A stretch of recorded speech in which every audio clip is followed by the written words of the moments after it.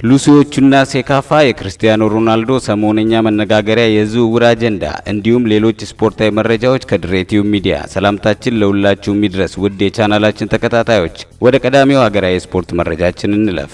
ከሐምሌ 12 እስከ 19 በሩዋንዳ አስተናጋጅነት ለሚካሄደው የሴካፋ የሴቶች ዋንጫ ዝግጅት የኢትዮጵያ ሴቶች ብሔራዊ ቡድን አሰልጣኝ ሰላም ዘርአይ 22 ተጫዋቾችን ጠርታለች። የተጠሩት አመዛኝ ተጫዋቾች በአፍሪካ ዋንጫ ማጣሪያ ላይ ያገለገሉ ሲሆን ወሳኙ አጥቂ ሎዛ አበራ ለሙከራ ወደ ስዊድን በማምራቷ ከዝርዝሩ ተዘልላለች። የኢትዮጵያ ሴቶች ፕሪምየር ሊግ በነገው ዕለት የሚጠናቀቅ ሲሆን ከእሁድ ጀምሮ ተጫዋቾች ተሰባስበው አዲስ አበባ ለልምምድ ምቹ ባልሆነ ምክንያት አዳማ፣ ቢሾፍቱ አሊያም ሐዋሳ በአንዱ ከተማ ዝግጅታቸውን እንደሚያደርጉ ታውቋል።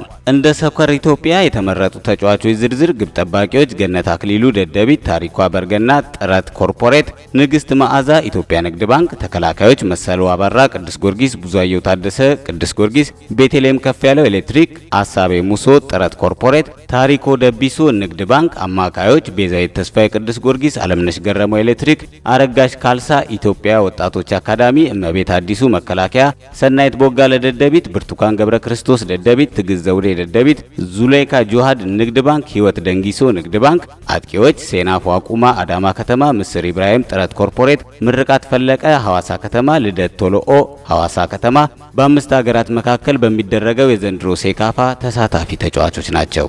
ወደ ውጪ ስፖርታዊ መረጃችን እንለፍ። አሁን ላይ የክርስቲያኖ ሮናልዶ የሪያል ማድሪድ ቆይታ ተጠናቋል ብሎ በድፍረት መናገር ይቻላል። ከራሽያው የዓለም ዋንጫ ጎን ለጎን እየተናፈሰ የሚገኝ የዝውውር ወሬ የፖርቹጋሉ ኮከብ ቀጣይ ማረፊያ የቱ ይሆናል የሚለው ሆኗል።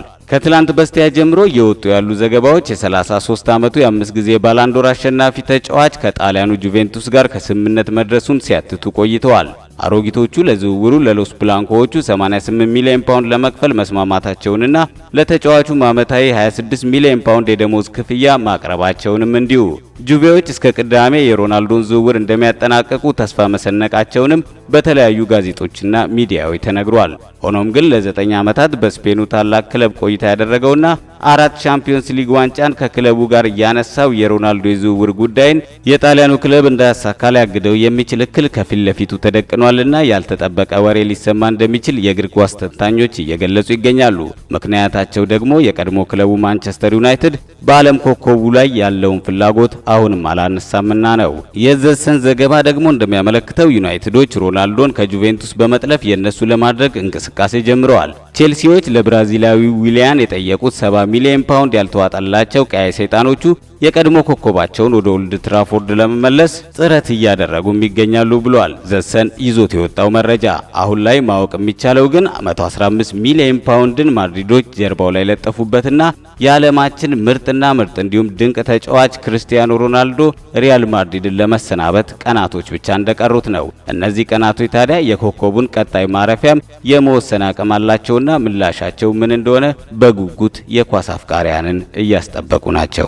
ወደ ሌላው ስፖርታዊ መረጃችን እንለፍ። የአርሰናሉ እንግሊዛዊ አማካኝ ተጫዋች ጃክ ዊልሻየር የዌስትሃም ተጫዋች ለመሆን መቃረቡ ታውቋል። የ26 ዓመቱ ዊልሻየር በመድፈኞቹ ቤት ያለው ኮንትራት መጠናቀቁን ተከትሎ ቺሊያዊውን አሰልጣኝ ፔሌግሪኒን የቀጠሩት መዶሻዎቹ ተጫዋቹን በነፃውን ለማግኘት ሁሉን ነገር ጨርሰዋል። እንግሊዛዊው በአርሰናል የመቆየት ፍላጎት ቢኖረውም በአዲሱ አሰልጣኝ ዩናይ ኤምሬ በሚሰለፍበት የጨዋታ ብዛት ዙሪያ መስማማት ባለመቻሉ ክለቡን ለመልቀቅ ከውሳኔ ላይ ደርሷል።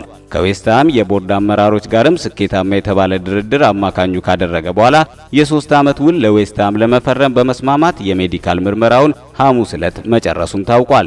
ጃክ ዊልሻየር ፔሌግሪኒን የመድፈኞቹ አሰልጣኝ ሆነው ከተሾሙ በኋላ አራተኛ ፈራሚ ተጫዋቻቸው የሚሆን ሲሆን ቺሊያዊ አሰልጣኝ ሉካስ ፋቢያኒስኪን፣ ሪያን ፍሬዴሪክን እንዲሁም ኢሳ ዲዮፕን ወደ መዶሻዎቹ ቤት መቀላቀላቸው ይታወቃል። ሊቨርፑሎች በክረምቱ የዝውውር መስኮት በከፍተኛ ሁኔታ እንቅስቃሴ እያደረጉ ናቸው። በትዕግስት ከባለፈው ዓመት ጀምሮ የጠበቁትን ናቢ ኬታን እንዲሁም ፋቢኒዮን ወደ አንፊልድ መልበሻ ክፍል መቀላቀል ችለዋል። አሁንም ግን የመርሲሳይዱ ክለብ እጁን አጣጥፎ ያልተቀመጠ ከመሆኑም ባለፈ ጆርዳን ሻኪሪንና ሞሰስ ሲሞንን ለማስፈረም ፍላጎታቸውን በመግለጽ ለድርድር በር ማንኳኳት ጀምረዋል። በተለይ የርገን ክሎፕ የክርስቲያኖ ሮናልዶ የጁቬንቱስ ዝውውር እውን የሚሆን ከሆነ አርጀንቲናዊው ዲያባላን ለማግኘት እድሉን በሰፊው ይሰጣቸዋል።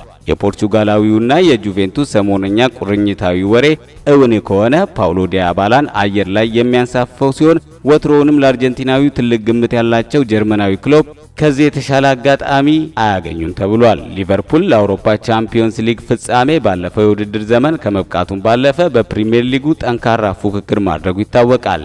ስሜታዊ አሰልጣኝ የርገን ክሎፕ ደግሞ በክለቡ ለተፈጠረው አዲስ የመነቃቃት አብዮት ዋና ከያኒ ናቸው።